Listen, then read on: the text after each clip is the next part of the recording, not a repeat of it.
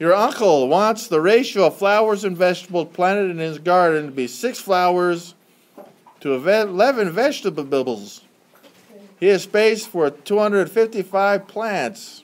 How many flowers should he plant? So we need a, a two fractions that are equal on this one, or a, or a proportion, because that's what a proportion is. And I really badly need you guys to know that for the stinking test, because some of you guys, I don't, I'm still worried that you don't.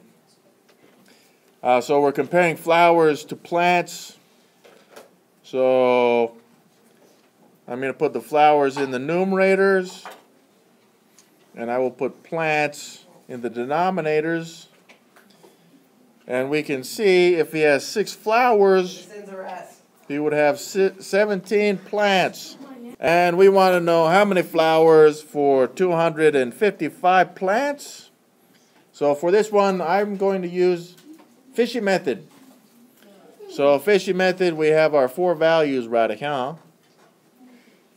And uh, we don't know how many cups of flour, so we have the x.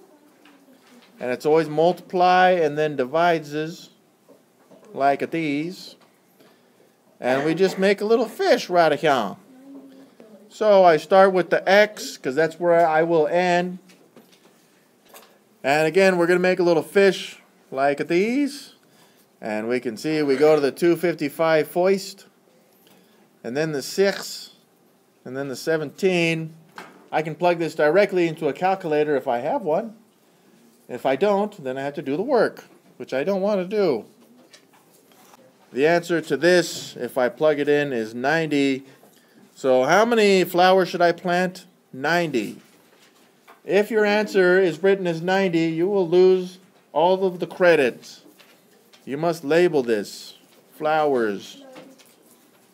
And I write this in all caps so that David feels uncomfortable.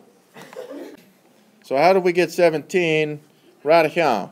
If you have six flowers to 11 vegetables, 11, then you would add those together to get total number of plants. That's 17 plants. And that's a, that's a good question. That's where that 17 came from right here. But ultimately the answer is 90 flowers.